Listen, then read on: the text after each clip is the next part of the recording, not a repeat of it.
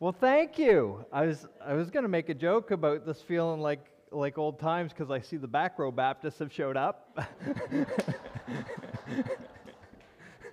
That's awesome. Um, we have lots of announcements today, so I want to get get right to it with that. Uh, there will be uh, some yes, happy anniversary to Bill and Marion today. That's so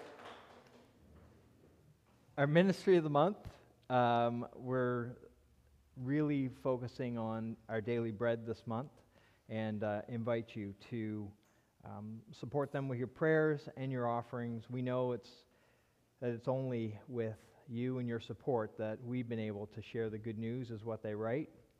And I think that what I see when you guys are engaging in these things is your faith walk is really um, supported well. And the conversations I have with people who are regularly using their daily bread are fun because they'll come to me and they'll say, Pastor Jeff, what you said this week really lined up with the daily bread. And, and that's not my doing, that's Holy Spirit's doing. And uh, so you'll find that these things really do um, help you engage with Scripture and engage with prayers well. So I invite you to, to pray for the ministry and to support them as you're able. October is our um, Stock the Pantry um, challenge, where we're hoping to collect 50 cans of uh, pasta. We're, um, boy, you guys really need to step up. Um, looking, think we're going to make it, but keep it coming. Um, keep it coming. Uh, some pasta sauce. And if you wish to bring fruits and vegetables, um, we're going to do that on the last Sunday of October, and then we'll take everything over and you can still bring your regular stuff. If you see the things on sale that, that you know the food bank needs, um, put it in the basket out back because we're still trying to support them with other things as well. On October 30th, um, we are going to have the final day of our blessing table. Have you guys enjoyed the blessing table? Yes. Yeah, me too. It's been a really neat thing for us to share things with one another. Um, so the items on the table will be will be donated at that time. So if there's been something there and you're like, well, I'll just I'll let somebody else get that. Well, maybe that's there for you. So take it. Feel free. Um, thank you so much for loving others with your your works and, and the things from your garden and the things that you've shared. Uh, tonight there will be an induction service held at the uh, Wilmot Christian Fellowship Center um, at 6:30 for Pastor Chris Wickens, and um, hoping that uh, some folks from around the area will be there to support them as they enjoy that special thing that it is to receive a new pastor and celebrate what God is doing there in that church. October 16th, uh, as well, tonight or this afternoon at 3 p.m. at the Clementsvale United Church. There'll be a worship service of praise through music with hymns and gospel music, choir music, and others. All are welcome. There'll be a time of fellowship afterwards and a time for a spot to make free will donations. Everything is going to the Adult Residential Center in Bridgetown. So they wanted us to announce that. So if you're into that and you think you've got time to go, I would encourage it.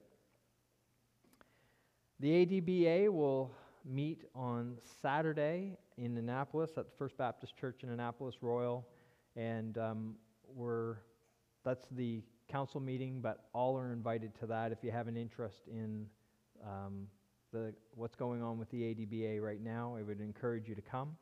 And then on the 28th in Annapolis, we're going to have a, a, night of music, prayer, and fellowship. Um, just a coming together of the, the ADBA churches um, to really focus on the love that God has shared with us and our, u- our unity, um, really, is, is what I'm hoping for.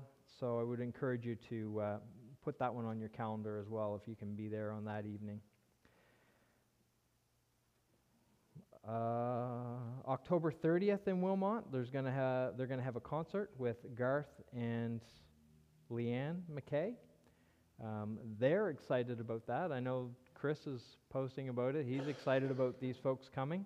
Um, so if you're able to go on that evening for that, you might just find something you really enjoy. this week we had our very first Coffee Plus here at the CFC. Who was here for Coffee Plus? Raise your hands. Right on. A good turnout. It was, uh, I would say, it was a smashing success for First Of, and I look forward to more of those. Bonnie's already, she's excited. She says, This is the best thing that's happened since the exhibition. Um, so, and, listen, Noah Bonnie, that's big praise. That's big praise. So we're excited uh, about Coffee Plus and the opportunity for us to just uh, come together and share in one another's lives. And this final announcement is to just let you guys know that there's some stuff happening here at the facility over the coming weeks. For the next six weeks, there is a job training program that is being run by a group called Literacy Nova Scotia. And it's working with people who uh, want to become employed. And it's helping to give them the skills that they may need to um, enjoy entering back into the workforce. And um, so for the next six weeks, there's going to be a school happening here. And um, it's taking place from 9 a.m. till 2 p.m. most days, but the days that we're having our things, they won't be here. It's, a, it's an easy workaround. Um, but I wanted you to know that this facility, um, God has kind of given us this opportunity to engage with a community in this way. And the individuals who are successful going through this program have already been promised jobs at the um, Robichaud uh, fish plant if they want them. Um, they're already being made available for them. So it's, it's a, a leg up uh, for folks, and it's a way that we can um, impact our community in a way that I really hadn't we prayed about something like this, but hadn't imagined what it would be. So God really showed up, um, providing this opportunity. So I offer that as encouragement, and um, it's gonna, you know, it'll, it'll it'll create some some stress at some points, but that's okay. We can handle that. So, um, you want to do a call to worship and open this thing up? Oh, oh yes. My apologies. Vera uh, Beals has passed away. And the family wanted me to um, let the church know that there will be a funeral happening on Wednesday at 2. Now, I say this, this is what the plan is for Wednesday at 2. I haven't seen it from the funeral home yet. So I encourage you to keep your eye on the obituary to confirm that time and date because you know, sometimes what we hope for and what really happens aren't necessarily there, but we wanted to put that out for you um, so that you can kind of mark it, make note of it, and then keep an eye for the confirmation. So, um, so yeah, I encourage you to, um, if you're able to come and um, be there for the family at that time as well. Now, are we ready? Sure. Okay, let's let's let's do this. Let's do this. Like to make an announcement before I start. Uh, there's a little, little bit of a gathering. No more announcements. They can't bear it. Shh. there's a little gathering after church or for coffee and cake to help celebrate somebody's young birthday. So if you would like to stay and have a cup of tea. Okay, the call to worship this morning is But let all who take refuge in you be glad. Let them ever sing for joy. Spread your protection over them, that those who love your name may rejoice in you. Let us bow our heads in prayer. God, no matter what we face today, we don't want to lose sight of the fact that you love us and sent your Son to die for us. Let that truth change our perspective today. Please forgive us for our mistakes we make that pulls us away from you, and continue to show how we can live a life that honors you. In Jesus' precious and holy name, amen. Our first hymn is 603, I believe, or 630. Please stand and sing with us. What a friend we have in Jesus. What a friend we have in Jesus.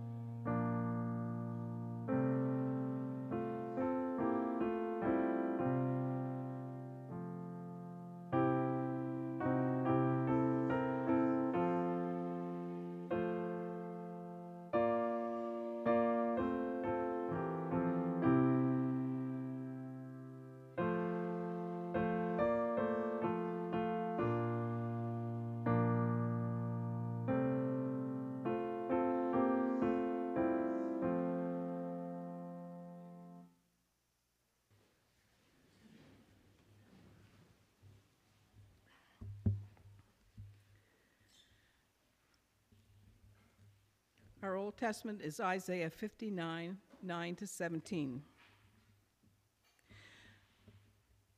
So, justice is far from us, and righteousness does not reach us. We look for light, but all is in darkness, for brightness, but we walk in deep shadows. Like the blind, we grope along the wall, feeling our way like men without eyes. At midday, we stumble as if we were, as if it were twilight among the strong. We are like the dead. We all growl like bears. We moan mournfully like doves. We look for justice, but find none. For deliverance, but it is far away. For our offenses are many in your sight, and our sins testify against us. Our offenses are ever with us, and we acknowledge our iniquities, rebellion and treachery against the Lord, turning our backs on our God, fomenting oppression and revolt, uttering lies our hearts have conceived. So justice is driven back, and righteousness stands at a distance. Truth has stumbled in the streets. Honesty cannot enter. Truth is nowhere to be found, and whoever shuns evil becomes a prey. The Lord looked and was displeased that there was no justice. He saw that there was no one. He was appalled that there was no one to intervene. So his only arm worked salvation for him, and his, own righteousness sustained him. He put a righteousness as his he put on righteousness as his breastplate, and the helmet of salvation on his head. He put on the garments of vengeance and wrapped himself in zeal as in cloak. May God bless the reading of his word. Amen.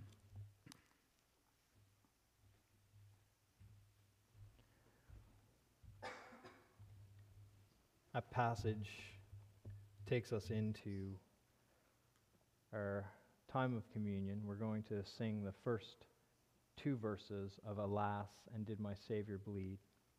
And I'll invite Bonnie and Darlene to come forward as we sing those two. Please stand.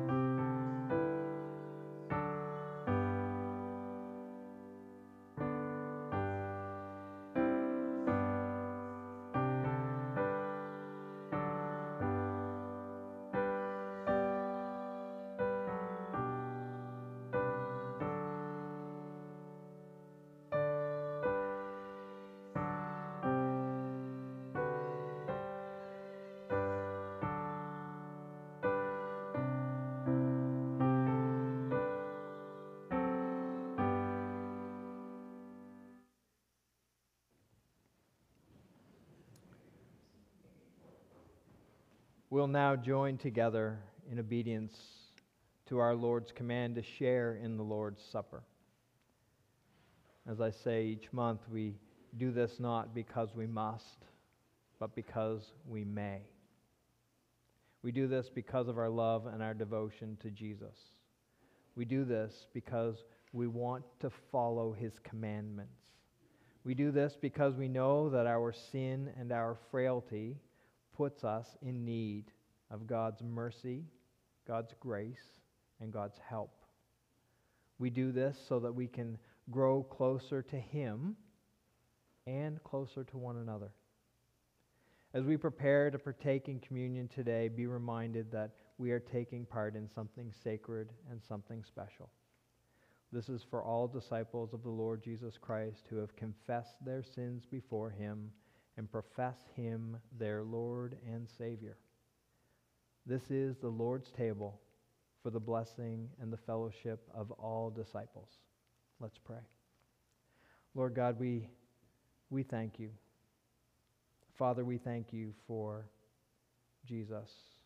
And Jesus, we thank you for your perfect sacrifice. We thank you, God, that we can each month uh, remember what it is that you have done for us. But Lord God, we, we pray that we don't just remember at these times when we set time aside for it, but we remember day in and day out, hour by hour, moment by moment. Lord God, we thank you for the salvation you have provided for us, made available to us. And Lord, we pray that those who don't yet know you may come to know you, may come to sit at this table with us, celebrating you and your love, remembering all that you have done, knowing the life that there is in you. Lord God, bless us as we enter into this time together to draw nearer to you, Lord, and to draw nearer to one another. Amen.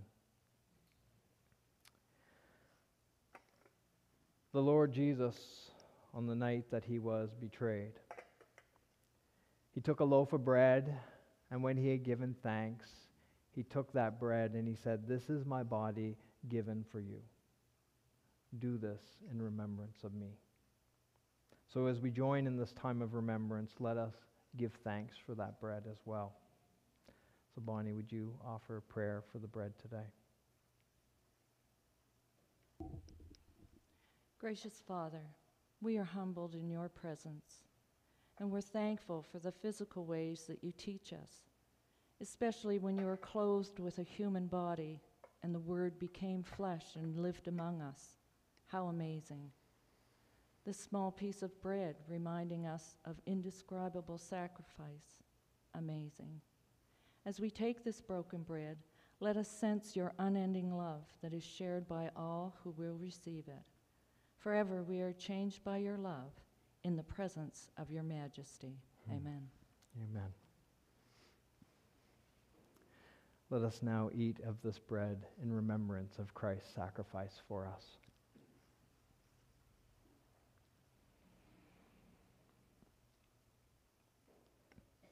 In the same way that night, he took the cup also after supper, saying, This cup is a new covenant in my blood. He said, Do this as often as you drink it in remembrance of me. So now, as often as we eat of this bread and we drink of this cup, we proclaim the Lord's death until he comes. So, Darlene, would you please offer a prayer for the cup today? Lord, we praise you this morning that you are the giver of life and forgiveness. We think about the sacrifice and pain you suffered on the cross as your blood was shed for us. As we drink from this cup, may we experience your saving grace and may your love flow within us. Amen. Amen. Jesus said, This is my blood of the covenant, which was poured out for the many for forgiveness of sin. Drink this in remembrance that Christ's blood was shed for you, and be thankful.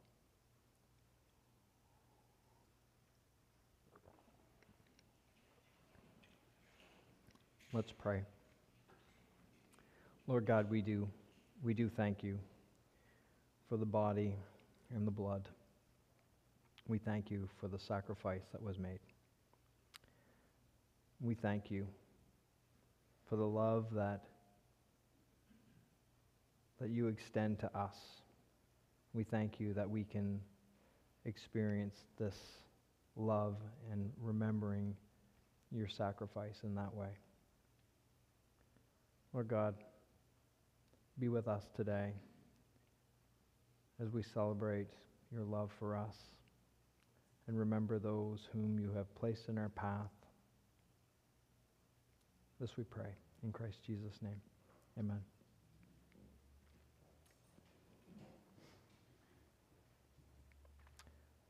You may remain seated as we sing the last two verses of Alas, and Did My Savior Bleed?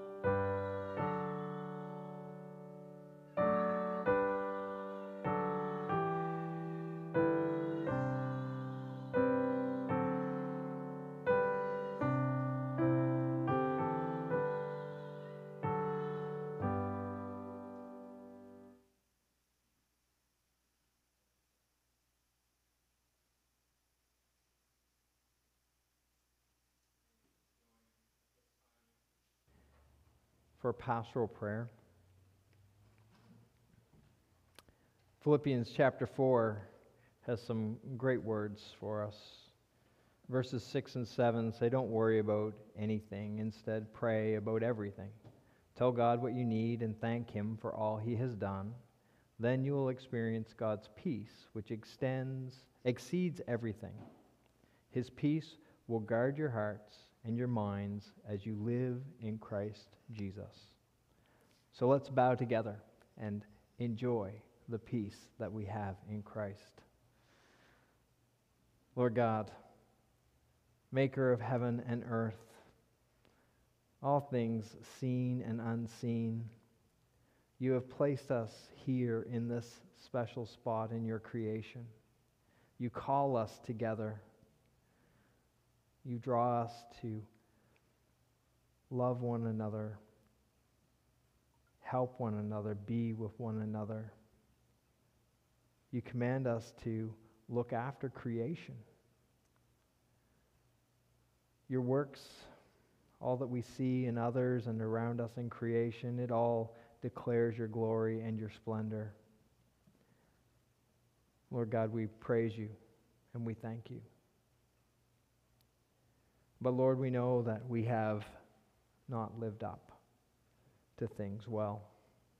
We haven't been good stewards of creation. We haven't been good stewards of friendship. We haven't been good stewards of the love that you have shared with us. And Lord, we humble ourselves before you, but we know that our grief and our pain over these things is only grief and pain. And we thank you for Christ and the blood and the sacrifice that makes our grief and our pain so much more. To understand that your Son died for us that we may be made right with you. To understand that you love us so much that you sent Holy Spirit to dwell in us, to guide us and lead us toward better ways, better stewardship, better love for those around us. Lord God, this is not an easy thing to understand. And that's because maybe we're not supposed to. I thank you for passages of Scripture that remind us that you are Almighty God and the things you do are out of our reach. So help us to not seek understanding, but to seek confidence in you and your love confidence in your strength and your might, confidence in your abilities. Lord God, we pray for Vera Beals' family today as they prepare themselves for a funeral on Wednesday, for saying goodbye to a mother, a grandmother, a great grandmother. Lord God, we pray you give them peace. We pray you surround them with love. You pray, God, that their confidence is in her confidence in you, her knowledge of you, her life given to service. So, Lord God, bless them. And Lord, we want to lift prayers today for Mike and Judy upward as both are, are going for procedures this week. We ask, God, that you be with them, be with their doctors. Give them a speedy recovery, Lord. We think of Shirley this week, who's still recovering at home. We pray for he and Linda, and I thank you, God, for his friendship and his wonderful spirit. I just pray your blessing upon them, Lord. Others in our church family, God, who are going through difficulties, waiting for procedures, waiting for things to happen. I ask, God, that you be with them and give them strength and courage, give them peace. I thank you for the encouragers in our church, God. People who seem to have such joy and confidence despite the troubles that they share. And Lord, we have many of them in this church that exude that, and I thank you for them. I thank you for the witness that it is to you and your, your transforming power, God. I thank you for the way of the gospel extends to others through those, those hearts and their words. So, Lord, today we bow before you, not worrying about anything, but praying instead about everything, knowing that you meet our needs. And we thank you, God, for all that you have done. We pray for your peace. We pray for peace that exceeds our understanding, God. We pray for joy in knowing that we don't need to understand, we just have to trust and believe. And your peace will guard our hearts and our minds as we live as Christ Jesus guides us in his ways. In your holy name, amen. So last week, we touched on, we scratched at the surface of the good news. And last week I said that, that news as N.T. Wright has put it, news is something that has happened, as a result of which everything else is different. News is something that has happened, that as a result of which everything else is different. And there's lots of things that, that are in the news that make up news that maybe not be news. They may not be news because it may talk about something that has happened, but really the result of which is very little difference. But the good news of Jesus Christ, that truly is news. It is the good news of God's love for us. Now, when thinking about it, I want to just remind you of a few things because it's important to understand the backstory of news. The backstory to the good news kind of starts where we were talking a few weeks ago about creation and God creating us.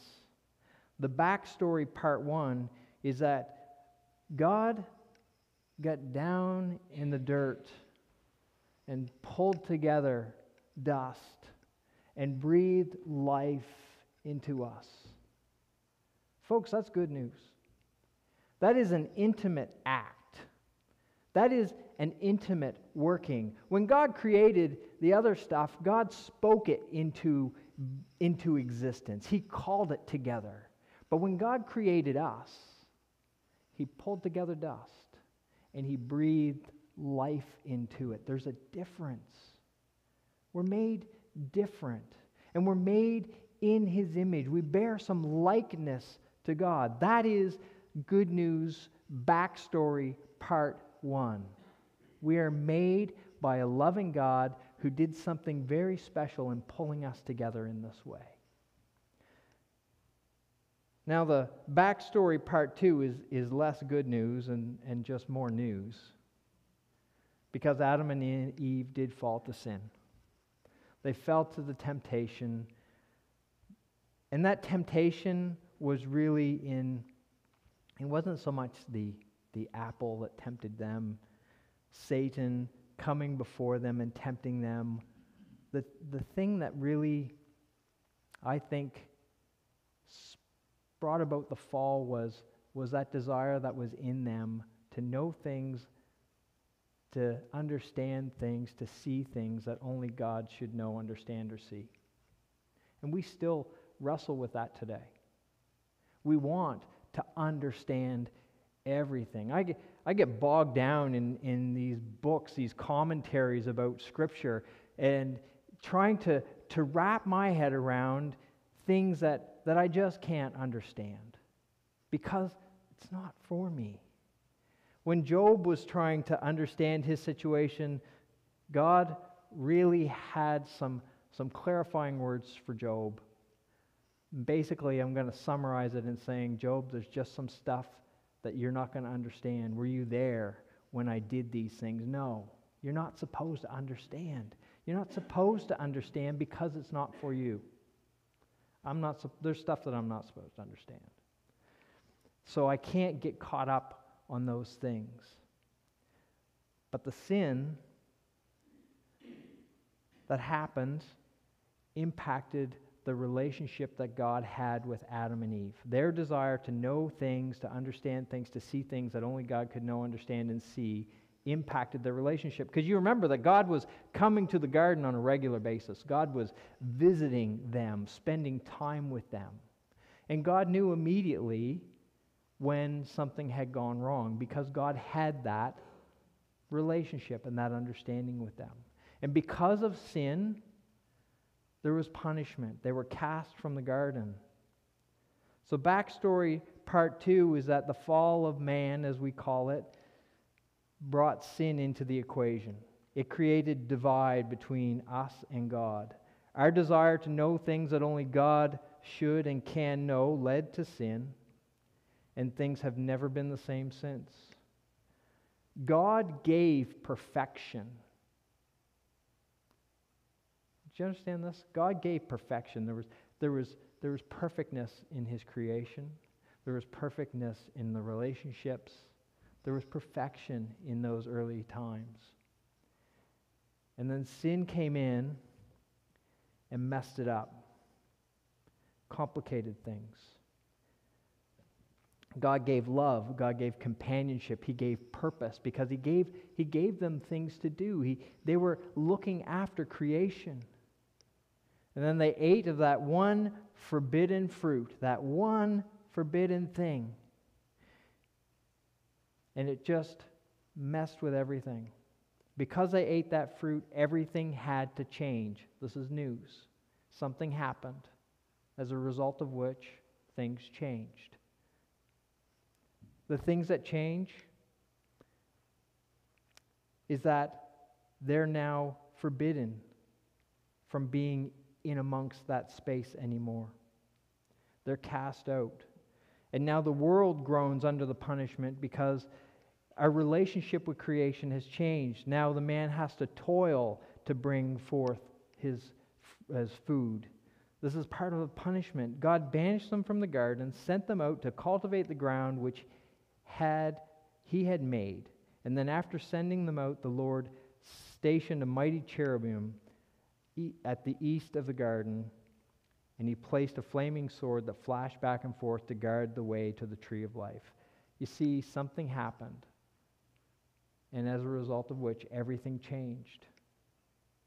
But the thing is, even though that's news and it's not good news, even though that's news, and that's backstory part two, God didn't abandon us. God didn't abandon humanity in that. And we've got the Old Testament stories of Abraham, Isaac, and Jacob, and the Israelites, and the rescue from um, Egypt, and all the ways that God worked in the story of his people, calling them to himself, calling them to be a, a nation of priests, is what he called them to be, desiring for them to make him known to other nations. God, even though the, the sin had happened and created this, this tension, God didn't abandon. And God even made promises that He would continue to rescue. Backstory two. Then, backstory three is this, this waiting that's happening in the lives of the Jews in the early uh, first century, is what we'll call it. There's this anticipation that, that God is going to do something. There's been a long time for them that they did feel kind of abandoned by God. But God did not abandon. And Jesus Christ came, was born, healed, taught, fed people in ways that, that no one could understand, healed people in ways that no one could understand, told stories that people wrestled to understand. But there's no denying that Jesus did these things. He did these miraculous things. He stirred up the world, but not in the way that people were expecting. And you see, Jesus could have been the kind of, the kind of ruler that, that people expected were he not from God. Do you understand? Like, there, there were people who were ready to take up arms. It happened years before, it happened years later. There were people who were ready to fight for what they believed. But Jesus wasn't calling people to fight, He was calling people to love. And He showed us how to do it. He healed, He fed, He taught, He accepted. Do you remember when He met the woman at the well? Jesus was generous to her, kind to her. She was not somebody who expected that from a Jew. Jesus was doing things in a different way. This is backstory part three. Something happened. Jesus came and was doing things differently. And because of it, something changed. People started to think about God in different ways. Started to believe that the Messiah had come and started to try and reconcile in their minds what that meant. These were Jesus' disciples and his followers. Then Jesus is put on trial on false charges. And Jesus is taken to Pilate and he's sentenced to death. And he dies. But we all know that that didn't last. His death was a full and complete death. And he stayed in the grave for three days. And then he rose. And as we talked about last week, he was seen by many. Paul made a point last week in the scripture passage to make note that Jesus was seen by many. You could ask, is what Paul's saying. You want, you want to know this? People are around that can verify it. That's what he's saying. That's how confident he is in the resurrection of Jesus, and that's how confident he wants us and others to be in the resurrection of Jesus. This is the good news. Because that happened, because that happened, everything changed. We now have the ability to approach God in a way different but similar to the way that Adam and Eve related with God. In a very personal, in a very intimate way. We can know Christ. We can experience the indwelling of Holy Spirit. But how do we how do we take that and from our day-to-day lives, how do we take that and translate that into lives that are transformed? Well, first I'll say we don't. God does that in us. But how do we open ourselves up to allowing that truth to transform us and work in us? Well, Jesus, in his teaching, gave us a tool. And today I want to talk about that tool. And now, this is often a little bit of a tangent, but have you guys ever heard of your, your desert island things? Okay, so, so there used to be a radio show I used to listen to. It was called Desert Island Discs. And the idea was you call in and you tell them, like, if you were stranded on a desert island, what was the one disc, CD, that you would want to take with you? And so, you know, that was the idea of that show. If you were stranded on, on a desert island, what's the one book you would want to take? What's the one thing that you would want to have with you? You know, maybe the book is this one. I would recommend it. I think it could probably get you through. The, the music for me would change week to week. But the one thing that you could take with you that would carry you through that situation. Well, Jesus I'm going to go out on a limb and say Jesus gave us a desert island prayer. Jesus gave us a prayer for all occasions. And this comes from Matthew chapter 6. Jesus is teaching the disciples. This is part of the Sermon on the Mount. Jesus says, When you pray, is this where we're starting at 5? Yeah, when you pray, don't be like the hypocrites who love to pray publicly on street corners and in synagogues where everybody can see them. I tell you the truth, that is all the reward you will ever get. But when you pray, go away by yourself. Shut the door behind you and pray to your Father in private. Then your Father who sees everything will reward you. When you pray, don't babble on and on as other people of other religions do. They think their prayers are answered merely by repeating their words again and again. Don't be like them, for your Father knows exactly what you need even before you ask Him. Pray like this, Jesus says Our Father in heaven, may your name be kept holy. May your kingdom come soon. May your will be done on earth as it is in heaven. Give us this day the food we need, and forgive us our sins, as we have forgiven those who sin against us. And don't let us yield to temptation, but rescue us from the evil one. Jesus goes on to say, If you forgive those who sin against you, your heavenly Father will forgive you. But if you refuse to forgive others, your Father will not forgive your sins. When you fast, don't make it obvious as the hypocrites do, for they try to look mis- miserable and disheveled so people will admire them for their fasting. I tell you the truth, that's the only reward they'll ever get. But when you fast, comb your hair, wash your face. Then no one will notice that you're fasting except your Father who knows what you do in private and your Father who sees everything will reward you. May God bless this reading of His Word. So, our, our desert island prayer here Jesus wants His disciples, those that day, and, and us, He wants us to understand something. He wants us to understand that if we're going to engage in this kingdom in a way that's going to impact our lives, we need to approach it first with the right heart. Jesus says, don't do it publicly like the hypocrites. Don't babble on and on. It's not about looking great while you pray, it's not about saying the right things. It's about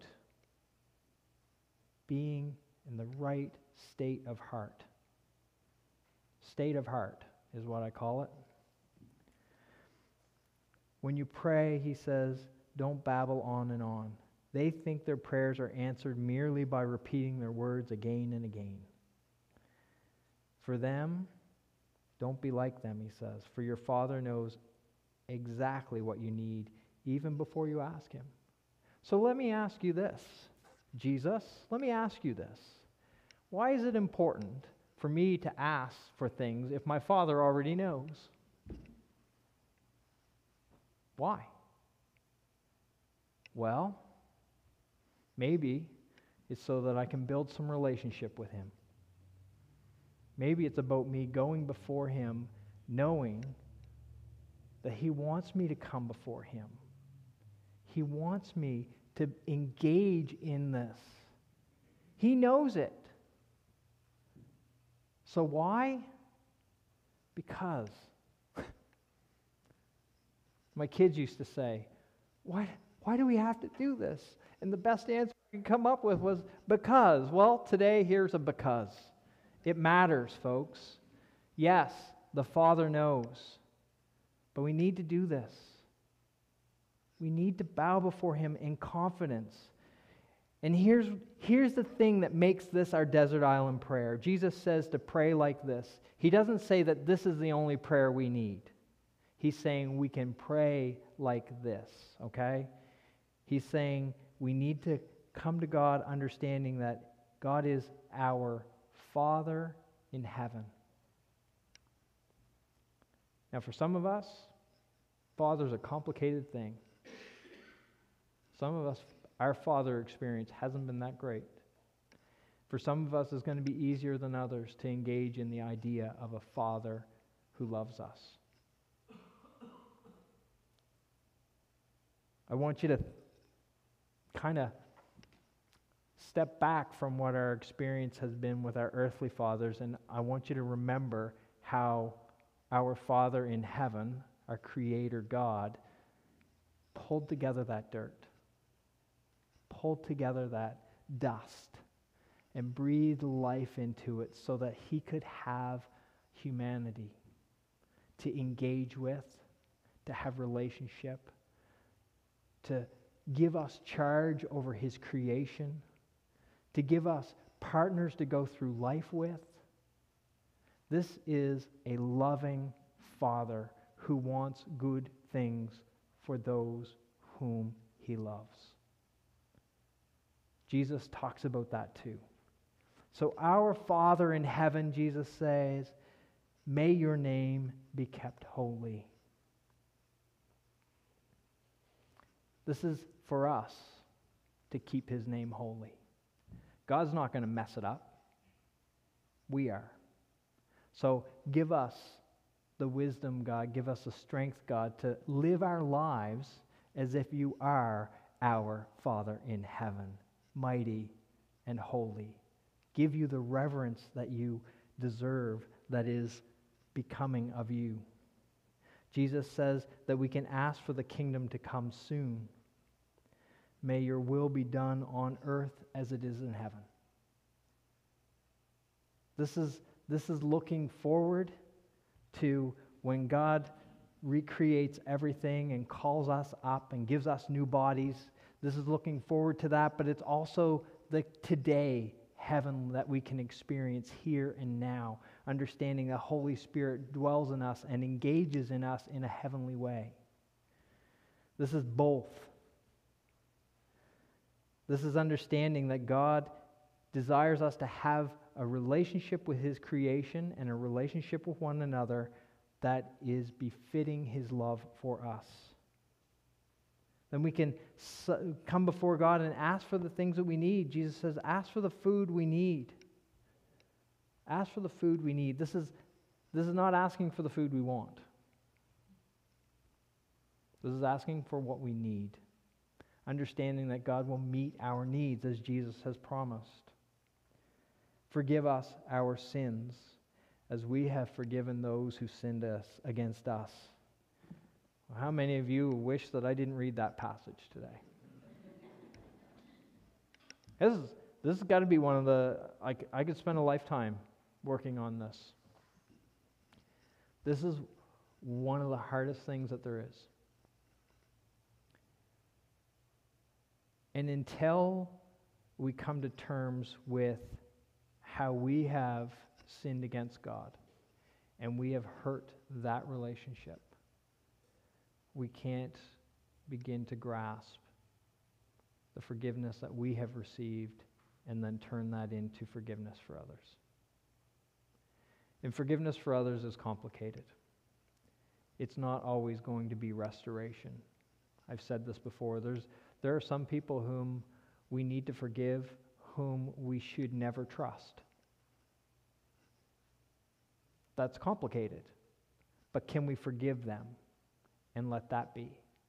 Knowing that, praying for them that, that God can do something in their lives to make his name known and glorified. Isn't it cool when God takes somebody who is a down and out horrible sinner, and they know they're a horrible sinner, and God transforms them into somebody who is proclaiming the gospel and has completely turned their lives around. We've seen these stories. We've heard these stories of people who have, who have come off death row and become great Christians, great people sharing the good news of Jesus Christ and the freedom that they have in Him, the new life that they have in Him. And how those, I remember reading a book once about uh, a guy who forgave someone on death row that had killed his daughter. And that forgiveness transformed that man's life. And, you know, to wrestle with the idea of, of being willing to forgive someone who had taken the life of someone precious that you love. Well, folks, our God in heaven lost his son for our sins. That, that was a big act. And we can, we can spend our lives trying to figure this out. We never will. But we have to wrestle with it and, and let it mess with us. Let it humble us. Let it crush us. Let it bring us to tears because it matters. This is an act of a loving Father giving his one and only Son. This is an act of Jesus loving us, coming to earth, giving us great teachings, healing people, providing food for people, being there in the mess of the world, and being able to walk his walk and do what he needed to do in order to rescue and save all. What's, what's interesting and, and, and hard to, to grasp is, you know, we could, we could ask, why didn't Jesus heal everybody? Why didn't Jesus feed everybody? Why didn't, you know, he's God, he could have. Because? Don't know the answers to some of these questions. God wants us to understand the salvation that He provided will transform us as we engage in relationship with Him. When we come down and humble ourselves and pray like this, Our Father in heaven, when we come down and understand that God loves us and God has done something in order to transform us and to restore relationship between us and creation, and He desires more he desires more. He will further restore creation and further restore us. This is, this is a, something that has happened that will change everything, but will continue to happen and will continue to change. We need to wrestle with what it is to forgive in order to fully embrace the new life that we have in Christ. That is a fact.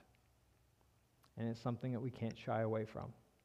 It's something we need to engage with on a daily basis. And it will be harder for some than others. Partner up. You know, when we go swimming, we, we used to take the kids swimming, you needed to have a buddy. Get a buddy. Pray together. Choose your buddy carefully. Choose someone who you can trust, someone who can help you talk about the things that you need to talk about, to work it out, to understand that this matters. This is, this is a hinge for people. This is either a sticky hinge that keeps the door closed or a free and easy hinge to move that allows us to enter through that doorway and enter into that new life, that life to the fullest that we can have in Christ. So, your desert island prayer, folks, helps us to remember the good news of all the things God has done for us. Remember who God is, that He is our Father in heaven, that He has done some things to help us, that He will provide for our needs, but He does. Even though he forgives our sins, he expects us to extend forgiveness to others. This is your desert island prayer. This is the thing that can help us to engage in life to the fullest because through this we engage with God and remember the things that matter to help us to better proclaim the gospel as transformed people here and now. So let's join our voices in the prayer that Jesus taught his disciples as we have learned it. Our Father, who art in heaven, hallowed be thy name. Thy kingdom come Thy will be done on earth as it is in heaven. Give us this day our daily bread, and forgive us our trespasses, as we forgive those who trespass against us. And lead us not in temptation, but deliver us from evil. For thine is the kingdom, the power, and the glory, forever and ever. Amen. Amen. So I want to invite the praise team up to sing a song for us.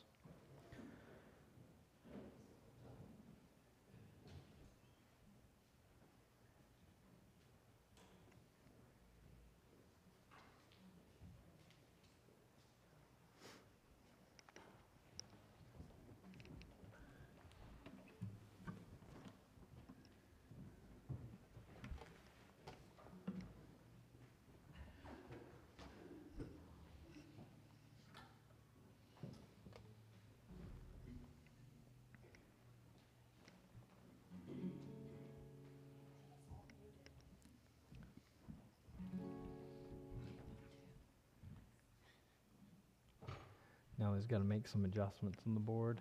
Charlene's got to transpose plus two. Already. Already done. Already there we go. So we're going to sing Majesty. We sang it last week. Um, I'm going to let you sit for a little bit, but I am going to invite you to stand partway through so that you can you can enjoy that. We sing better when we stand, and it's a it's a true thing. But so Majesty.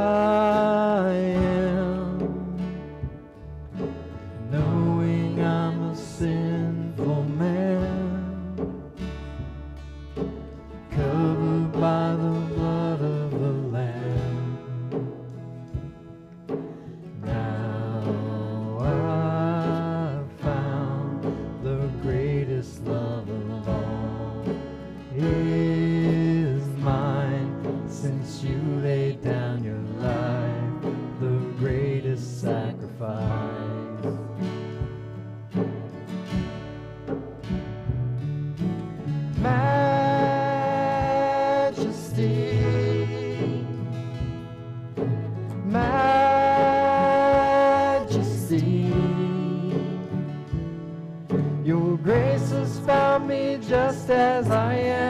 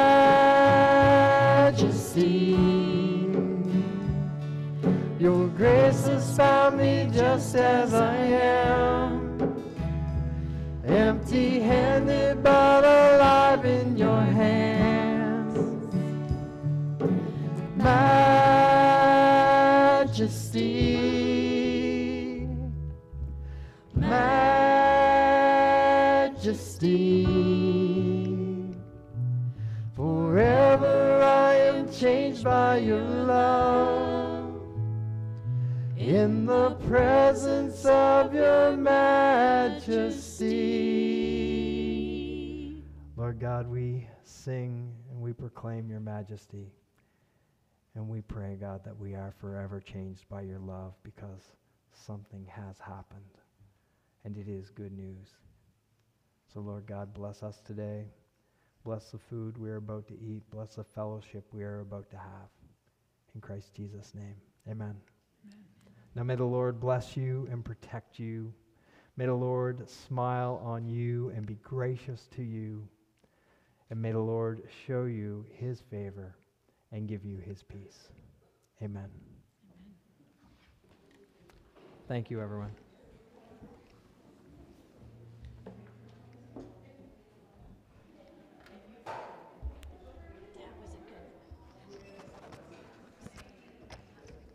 Was that?